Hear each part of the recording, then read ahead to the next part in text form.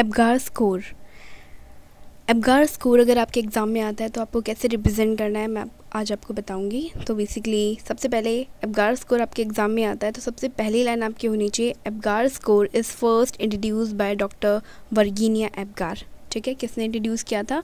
Doctor Virginia Apgar ने.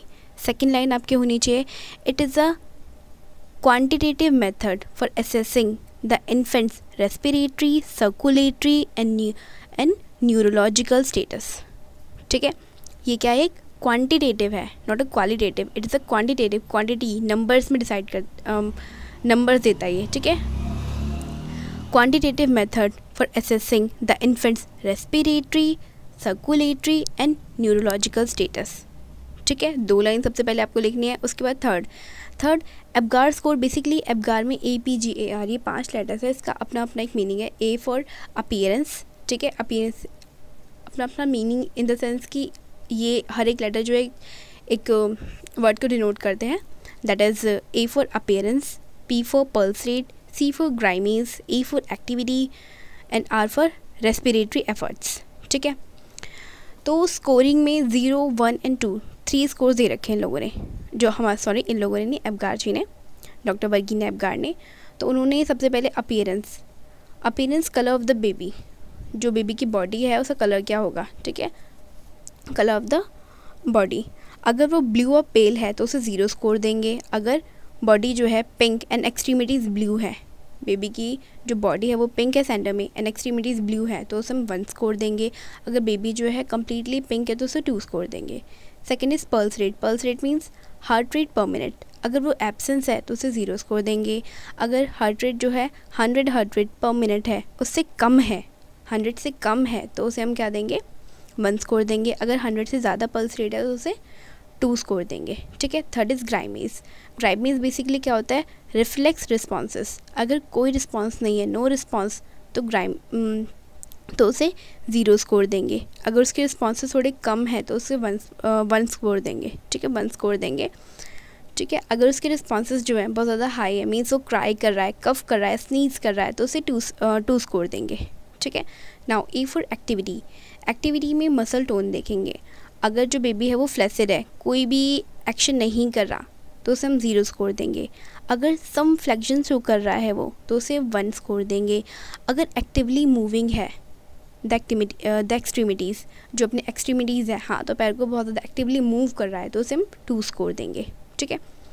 Fifth is respiratory efforts अगर कोई भी एफर्ट्स नहीं है नन है तो उसे ज़ीरो स्कोर देंगे। अगर स्लो एंड इरेगुलर गास्पिंग है, ठीक है स्लो है इरेगुलर गास्पिंग कर रहा है बेबी तो उसे वन देंगे, ठीक है स्कोर देंगे। अगर वो गुड क्राइंग कर रहा है तो उसे टू स्कोर देंगे, ठीक है। अब नाउ ये स्कोरिंग हम कर क्यों रहे हैं? कि हमने पढ़ा था जो न्यूनिटल केयर होती है, ठीक है, जो कॉड क्लैंपिंग से पहले ना, हम क्या करते हैं कि एबगार स्कोरिंग देखते हैं। अगर वो नॉर्मल है, तभी हम कॉड क्लैंपिंग करेंगे। ठीक है? तो उसमें क्या होता है बेसिकली कि नॉर्मल हमें पता कैसे चलेगा एबगार स्कोर देख के? अगर एबगार स्कोर जो है वो एट टू टेन के बीच में लाइक कर रहा है that mean it's a normal baby is normal ठीक है? अगर वो फाइव टू सेवन के बीच लाइक कर रहा है दैट मीन्स मॉडरेटली एस्फेक्जिएटेड हमारा बेबी क्या है? मॉडरेटली एस्फेक्जिएटेड है, ठीक है? अगर वो फोर से कम है हमारा एबगार स्कोर फोर से कम है तो बेबी जो है सीरियसली एस्फेक्जिएटेड है, ठीक है? वो डिस्ट्रेस में है। ओके? नाउ उसके बाद टाइमिंग ऑफ़ स्कोर स्कोर हम कब मेज़र करते हैं? उसका टाइमिंग क्या होता है? तो पहला है कि at first cry first cry पे करते हैं। उसके बाद after regular respiration has been establish जब बेबी जो, पहले तो फ़र्स्ट क्राई पे करेंगे। सेकेंड इसकी जब उसकी नॉर्मल रेस्पिरेशन स्टैब्लिश हो जाएगी, तब करेंगे। और थर्ड है कि delay to detect any neurological deficit ठीक है? अगर कोई से न्यूरोलॉजिकल डेफिसिट है तो उसे देखने के लिए हम एबगार स्कोर दोबारा करेंगे। ठीक है? Now Apgar score is taken at one minute five minute and ten to twenty minutes इसमें, इस इंटरवल में हम करेंगे। ठीक है?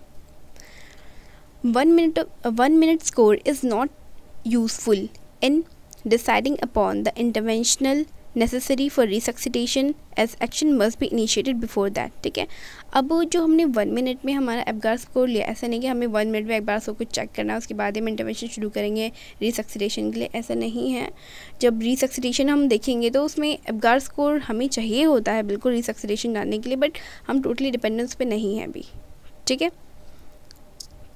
Now if score is low it may indicate अगर जो हमारा स्कोर है हमारे अबगार का वो लो है, वो क्यों तो ये क्या इंडिकेट करता है? तो इंडिकेट करता है जो बेबी को बर्थ एस्फेक्सिया है, ठीक है?